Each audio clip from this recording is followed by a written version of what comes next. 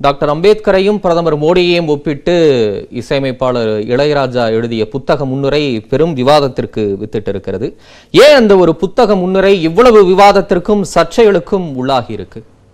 அதாவது அந்த புத்தகம் வந்து ஒரு மோசடியான புத்தகம் என்பதால் தான் அப்படி ஒரு புத்தகத்திற்கு நம்முடைய இசைஞானி இளையராஜா அவர்கள் ஒரு முன்னுரை எழுதியிருக்கிறாரே என்பதுதான் இப்போது எழுந்திருக்கிற கேள்வி. முதல்ல அந்த இந்த புத்தகத்தை வெளியிட்டிருப்பது ப்ளூ கிராப் டிஜிட்டல் ஃபவுண்டேஷன் என்கிற ஒரு பதிப்பகம். அது வேறு யாருடைய புத்தகத்தையும் இதுவரை வெளியிட்டதில்லை. மோடியினுடைய புகழ் பாடுகிற ஆறு புத்தகங்களை வெளியிட்டிருக்கிறது ஏற்கனவே ஒரு புத்தகத்தை அந்த பதிப்பகம் வெளியிட்டது. அதாவது மான் கி பாத் அதாவது ஒரு சமூக ரேடியோவில் ஒரு சமூக புரட்சி என்கிற ஒரு புத்தகத்தை வெளியிட்டது. அது குடியரசுத் தலைவர் மாளிகையிலே மரியாதைக்குரிய அன்றைய குடியரசுத் தலைவர் பிரணாப் முகர்ஜி அவர்கள்தான் அந்த புத்தகத்தை வெளியிட்டார்கள். அதற்கு அந்த புத்தகத்தை எழுதியதாக சொல்லப்பட்டவர் ராஜேஷ் ஜெயின் என்பவர். ஆனால் அந்த புத்தகம் வெளிவந்த பிறகு அந்த புத்தகம் எழுதியதாக சொல்லப்பட்ட ஆசிரியர் இப்படி ஒரு புத்தகத்தை நான் எழுதவே இல்லை. இது என்னுடைய பெயரில் வந்திருக்கிறதே தவிர என்னுடைய புத்தகம் அல்ல என்று சொன்ன ஒரு விசித்திரமான புத்தகங்களை வெளியிட்ட ஒரு பதிப்பகம் தான் இதுவரை அந்த புத்தகத்தில் வந்து கருத்து என்னுடையதுன்னு சொல்லுவாங்க. ஆனால் புத்தகம் எழுதியவருக்கே தெரியாமல் ஒரு புத்தகத்தை வெளியிட்ட பதிப்பகம் தான் இப்போது அண்ணல் அம்பேத்கரையும் நம்முடைய பிரதமர் மோடி அவர்களையும் ஒப்பிட்டு ஒரு புத்தகத்தை வெளியிட்டிருக்கிறார். அந்த புத்தக தலைப்பே ரொம்ப சிக்கலானதுன்னு நினைக்கிறேன். அம்பேத்கரும் மோடியும் அவர்களுடைய சீர்திருத்தம் மற்றும் செயல் திட்டத்தை எப்படி நடைமுறைப்படுத்துகிறார்கள் என்கிற அந்த புத்தகத்தினுடைய தலைப்பே. ஏனென்றால் ஆனால் அம்பேத்கர் சமூக சீர்திருத்தத்திற்காக இன்னும் சொல்ல போனால் ஒரு சமூக புரட்சிக்காக தன்னுடைய மொத்த வாழ்நாளையும் அர்ப்பணித்துக் கொண்ட ஒருவர். அவருடைய கனவு வேறு. பிரதமர் மோடி அவர்களுடைய கனவு என்பது வேறு. இந்த நூலுக்கு இப்ப பல பேர் என்ன சொல்றாங்கன்னா இளையராஜா கருத்து சொல்லக்கூடாதா? நிச்சயமாக முன்னுரை எழுதுகிற உரிமை கருத்து சொல்லுகிற உரிமை நம்முடைய இசைஞானி அவர்களுக்கு உண்டு. ஆனால் அதே நேரத்தில் அந்த கருத்து தவறு என்று சொல்கிற உரிமையும் எல்லோருக்கும் உண்டு. இப்ப நீங்க சர்ச்சைக்குள்ளாக்குவது பாஜக தான். ஒரு கட்சியை இந்த பற்றி இடத்துல கருத்து சொல்றதா சொல்றாங்க. இளையராஜா அவமானப்படுத்தப்படுகிறார் நீங்களே அவமதிக்கப்படுகிறார் அப்படின்னு. பாஜக தேசிய தலைவர் ரொம்ப ஒரு ஆதங்கமா தன்னுடைய கருத்தை வெளிப்படுத்துறாருல. நீங்க கூட சொல்றீங்க இந்த தலைப்பே சிக்கலானது அப்படின்னு. சிக்கலா இருக்குதுன்னா அது உங்களுக்கு உடன்பாடான கருத்தை தான் திரு இளையராஜா சொல்லணும் அப்படிங்கிற ஒரு நிர்பந்தம் அந்த இடத்துல உருவாகுதா என்ன? உங்களுக்கு உடன்பாடான கருத்துன்னா வரவேற்கிறீங்க. உங்களுக்கு உடன்பாடு இல்லாத கருத்துன்னா அவரை அவமதிக்கும் விதமா விமர்சிக்கும் விதமா ஒரு கட்சியோ அந்த கூட்டணியோ ஒன்று சேர்ந்து விமர்சிக்கிறீங்க. அந்த விமர்சனத்துல ஜனநாயகமே இல்லை அப்படின்னு ஆதங்கப்படுறார் பாஜக தலைவர். ஜனநாயகம் குறித்து நட்டாவா பேசுவது? ஏன்னா இன்னைக்கு கருத்து சுதந்திரம் சொன்னதற்காக இதே அம்பேத்கர் அவர்களுடைய பேரன் இன்றைக்கு சிறையிலே வாடிக்கொண்டிருக்கிறார். அவருடைய மனைவி எழுதிய ஒரு கடிதம் இன்றைக்கு ஆனந்த் டெல்டும்டே அவர்களுடைய மனைவி எழுதிய ஒரு கடிதம். இந்த பீமா கோரேகான் வழக்கு எதற்காக போடப்பட்டது? அம்பேத்கர் அவர்கள் அந்த நி- இடத்திலே நிகழ்வு நடத்துகிறார். அந்த இடத்திலே அறிவாளிகள் அறிவுஜீவிகள் மனித உரிமை போராளிகள் கூடி ஒரு நிகழ்வு நடத்தினார்கள். அதற்காகவே சிறையில் அடைக்கப்பட்டிருக்கிறார்கள் அவர்கள். இதில் இளையராஜாவை அவமானப்படுத்துகிற பிரச்சனை எங்கிருந்து வருகிறது? அவருடைய இசை மேதமை குறித்து தமிழ் சமூகத்திற்கு அவருடைய பங்களிப்பு குறித்து உலகளாவிய அவருடைய இசை குறித்து இதுவரை அவரை தூக்கி கொண்டாடியது இதே தமிழ் சமூகம் தான் இப்போதும் இளையராஜாவினுடைய இசையமைப்பாளரை யாரும் அவமானப்படுத்தவும் முடியாது இழிவுபடுத்தவும் முடியாது. நானே இளையராஜா அவர்களுடைய பரம ரசிகர் முறையில் அதை ஏற்க மாட்டேன். இப்பொழுது அவர் முன்வைத்திருக்கிற கருத்து தவறு என்றுதான் சொல்கிறேமே தவிர நீங்கள் இதுவரை அம்பேத்கர் குறித்து ஏதாவது பேசியிருக்கிறீர்களா?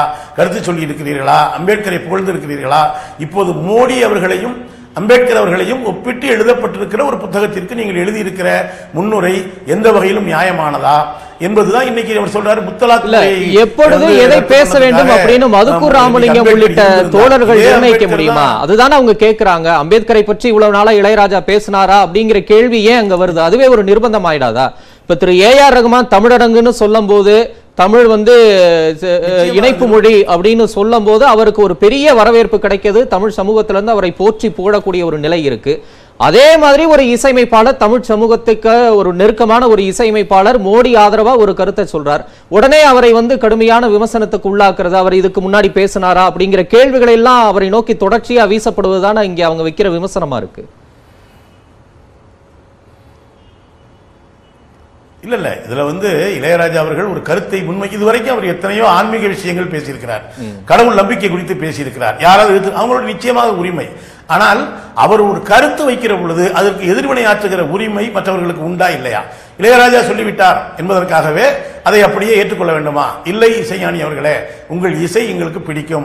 ஆனாலும் உங்களுடைய இந்த கருத்து நியாயம் அல்ல அதிலும் அம்பேத்கரையோடு மோடியை ஒப்பிடுவது எந்த வகையிலும் நியாயம் அல்ல என்கிற கருத்தை தான் முன்வைக்கிறோமே தவிர இதுவரை இளையராஜா குறித்து எதுவும் புகழ்ந்துரைக்காத பாஜக ஆர்எஸ்எஸ் பரிவாரம் நட்டா துவங்கி தமிழிசை வரை அண்ணாமலை வரை இதுவரை அவங்க வந்து இந்த கருத்து சொன்ன பிறகுதான் இளையராஜா ஆஹா ஓஹோங்கிறாங்களே தவிர இதுவரைக்கும் இளை- இன்னும் சொல்ல போனா இன்னைக்கு பாஜக தலைவர் அண்ணாமலையே சொல்றார். நாங்க அவருக்கு பாரத ரத்னா விருது கொடுக்க தமிழக பாஜக கடிதம் எழுதும் அப்படின்னு. ஏன் இதுவரைக்கும் கொடுக்கல? அப்பனா நீங்க ஒரு நிர்பந்தத்தை உருவாக்குறீங்களா? எங்க தலைவரை பத்தி புகழ்ந்து பேசினா தான் உங்களுக்கு விருது கொடுப்போம் அப்படி ஏற்கனவே இளையராஜா அவர்கள் பாமர ரத்னவாக இருக்கிறார். இந்தி திரை இசை பாடல்கள் தமிழகத்திலே ஓங்கி ஒழித்துக் கொண்டிருந்த காலத்திலே நாட்டுப்புற பாடல்களை கொண்டு வந்ததன் மூலம் எளிய மக்களினுடைய கலைஞனாக ஜனங்களின் கலைஞனாக இளையராஜா மக்கள் மனதிலே ஏற்கனவே இருக்கிறார். நீங்கள். தருகிற விருதுகள் இவங்க சொல்றதுதான் சர்ச்சையாகுது இப்ப. இந்த புத்தகம் ஒரு முன்னுரை. அதற்கு பிறகு இளையராஜாவுக்கு விருது தருவோம். நாங்க பரிந்துரைப்போம் சொல்ற இடம் தான் சர்ச்சையாகுதே தவிர இளையராஜாவை இழிவுபடுத்துவது என்கிற பிரச்சனை இல்லை. அவருடைய கருத்து தவறு. அவருக்கு ஒரு கருத்து சொல்ல உரிமை இருந்தால் அந்த கருத்து தவறு என்று சொல்கிற உரிமையும் எல்லோருக்கும் உண்டு. திரு மதுக்கூர் ராமலிங்கம் இடைவேளைக்கு முன்பா திரு ரவீந்திரன் துரைசாமி ஒரு கருத்தை முன்வச்சார். இசைக்கலைஞர் அப்படிங்கறத தாண்டி ஒரு அரசியல் ஆயுதமா இங்கே இளையராஜா முன்னிறுத்தப்படுவதற்கான வாய்ப்புகள் இருக்குன்ற கணிப்பை முன்வைக்கிறார். அது நடப்பதற்கான சாத்தியங்கள் இருக்கா? அது எடுபடுமா? உங்க பார்வை. இல்லை இளையராஜா அவர்கள் தமிழ் திரையுலகத்துல எத்தனையோ ஓடாத உருப்படாத படங்களுக்கு இசையமைத்து அவருடைய இசையால் மட்டுமே ஓடிய படங்கள் எத்தனையோ உண்டு. நான் படங்களின் பெயரை சொல்ல விரும்பவில்லை. இங்கே தமிழக பாஜக ஏற்கனவே ரஜினி அவர்களை வைத்து ஒரு முன் முயற்சி எடுத்தது அது பலிக்கவில்லை. அவர் எப்படியோ தப்பித்துக் கொண்டார். இப்போது இளையராஜாவின் இசையோடு இந்த படத்தை எப்படியாவது ஓட்டிவிட முடியுமா என்று முயல்கிறார்கள். அதிலும் அவர்களுக்கு தோல்விதான் கிடைக்கும் என்பதுதான். ஏன்னா இளையராஜா அவர்களை அவர் ரவீந்திரன் துரைசாமி தான் நீங்க வந்து அவருடைய ஜாதி எல்லாம் சொல்றாரே தவிர அவர் விமர்சிக்கிற யாரும் இவருடைய கருத்தை தான் முன்வைக்கிறாங்களே. இப்படி மோடியையும் அண்ணல் அம்பேத்கரையும் பாபா சாஹேப் ஒப்பிடுவது சரிதானா? இசைஞானி அவர்களே என்றுதான் கேட்கிறார்களே தவிர. அவருடைய ஜாதியோடு இணைத்து யாரும் பேசுவதே இல்லை. ஒன்று. இரண்டாவது அவங்க சொன்னாங்க இல்லையா? ஆர்எஸ்எஸ் ரெண்டு வகையான உத்திகளை பயன்படுத்தும் ஒன்று எதிர்த்து அழிப்பது அல்லது அணைத்து அழிப்பது என்று. முதலில் அருண் ஷோரியை விட்டு அண்ணல் அம்பேத்கரை முழுக்க முழுக்க அவதூறு செய்து ஒரு புத்தகம் வந்தபோது அதற்கு வலுவான எதிர்வினையாற்றியது அன்றைக்கு திராவிடர் கழக தலைவர் ஆசிரியர் அவர்கள் அருண்ஷோரியினுடைய அவதூறுகளுக்கு வலுவான மறுப்பை கொடுத்தார். பல கூட்டங்களில் பேசியிருக்கார்.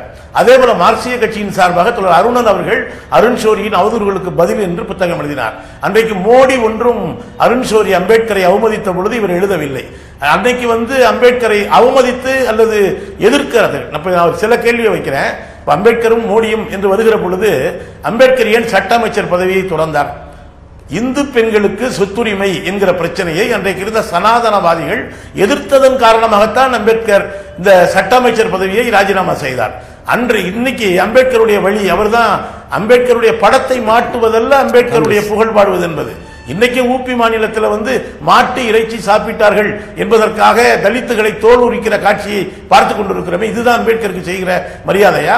அம்பேத்கர் தெளிவாக சொன்னார் அகமண முறை அதாவது ஒரு ஜாதிக்குள்ளேயே திருமணம் செய்து கொள்கிற ஏற்பாடு கூடாது அதனால் ஜாதியை ஒழிக்க முடியாது என்று அம்பேத்கர் முன்வைத்த கருத்தை ஆர்எஸ்எஸ் பாஜக பரிவாரம் ஏற்கிறதா? என்பதற்கு மரியாதைக்குரிய நண்பர் அர்ஜுன் சம்பத் பதில் சொல்ல வேண்டும். நீங்கள் தானே வந்து காதலித்தாலே கௌரவ கொலை செய்கிற அந்த தத்துவத்தை கொண்டவர்கள் அம்பேத்கர் நம்ம. துணிச்சலாக எதிர்த்தார். எனவே இதே கேரள அரசு மூன்று முறை மரியாதைக்குரிய இளையராஜாவுக்கு விருது கொடுத்திருக்கு. ஹரிகராஸ்வனம் விருதுன்னு ஒரு விருது கொடுத்தாங்க. எதுக்கு தெரியுமா? அது கூட அவர் நம்புகிற ஐயப்ப சாமி சன்னிதானத்தில் வச்சு கொடுத்தாங்க. ஹரிகராஸ்வனம் விருது. எதுக்காகன்னா மத நல்லிணக்கத்திற்காகவும் மக்கள் ஒற்றுமைக்காகவும் அவர் ஆற்றியிருக்கிற சேவைக்காக. சரி. அப்போது நாங்கள் யாரும் இடதுசாரிக்கு இளையராஜா அவர்கள் பொது உடைமை இயக்க மேடைகளில் உருவானவர் தான் ஆனால் பிறகு அவர் திரையிசையில வளர்ந்த பிறகு அவ்வாறு சொல்லிக் கொள்வதில்லை அது பிரச்சனையும் இல்லை. ஆனால் கேரளத்தில் இடது ஜனநாயக முன்னணி அரசு கொடுத்த பொழுது அவர் ஆதரவாக பேச வேண்டும் என்று எதிர்பார்ப்பும் இல்லை.